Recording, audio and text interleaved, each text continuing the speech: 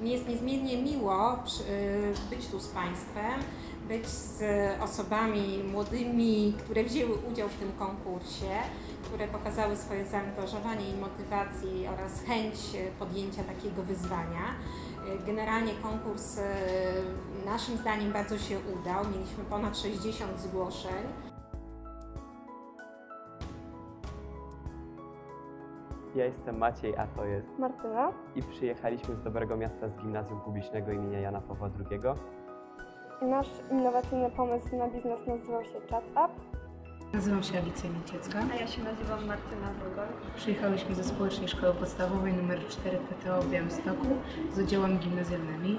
Nasz projekt to Patchment Blood, czyli plaster służący do pomiaru parametrów zdrowotnych człowieka. Nazywam się Marcin Wróblewski i moim projektem na konkurs Startup na piątkę były okulary zmieniające kolor. Polegały na tym, że za pomocą jednego ruchu ręką i wciśnięcia guzika mogliśmy zmienić kolor szkieł naszych okularów.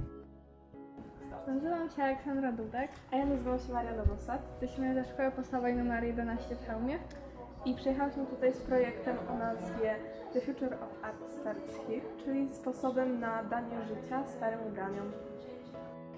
Nazywam się Joanna Błoniarz. A ja nazywam się Marcelina Bielecka. Przyjechałyśmy z liceum ogólnokształcącego w Kołaczycach. Naszym pomysłem na innowacyjny projekt jest Hydroker, czyli samochód napędzany wodą. Osoby mające samochód, poruszające się nim, wiedzą, że ceny paliw rosną. A co za tym idzie? Wzrastają nasze wydatki, a my mamy na to sposób.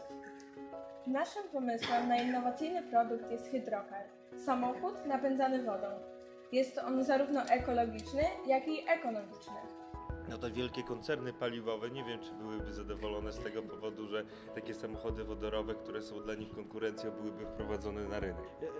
Głęboko wierzę w to, że dziewczyny mają e, e, takie to wierzę. spojrzenie z boku, nieskrzywione tym wszystkim, czego się nie da zrobić, czego nie osiągnęli ci naukowcy przez 20 lat.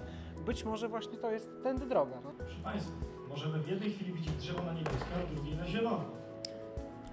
O, płyn byśmy sprowadzali z USA, akrylowe szkła i oprawki z Chin i wszystko byśmy składali w Polsce. Można powiedzieć, że spojrzeć na świat przez y, różowe okulary nabiera nowego znaczenia zupełnie. E, Podpowiedź. Mm, Nie startowałabym z tym produktem w Polsce. Największymi gadżeciarzami na świecie są Japończycy. Dokładnie. Radziłabym zastanowić się nad takim rynkiem. Ja uważam osobiście, że pański pomysł jest, e, jest bardzo blisko komercjalizacji. W sensie, to, jest, to jest projekt, który nie napotkałby większej bariery, jeżeli zechciałby pan go wprowadzić na rynek. Nasz wynalazek nazwałyśmy Patchment Blood. Jest to wprost od trzech wyrazów słowa patch, czyli plaster, med, czyli medyczny oraz blood, czyli krew. Będzie więc to plaster ze specjalnymi czujnikami połączonymi z aplikacją dostępną na wszystkich urządzeniach mobilnych, takich jak telefon czy tablet. To jest przykład, można powiedzieć, cyborgizacji człowieka, czyli ogólnoświatowego trendu, żeby łączyć człowieka z technologią, z maszyną, z wytworem y, ludzkich, ludzkich rąk. No, na czym zamierzamy zarabiać? Zamierzamy zarabiać na naszej pasji, ponieważ jest to nasza wspólna pasja.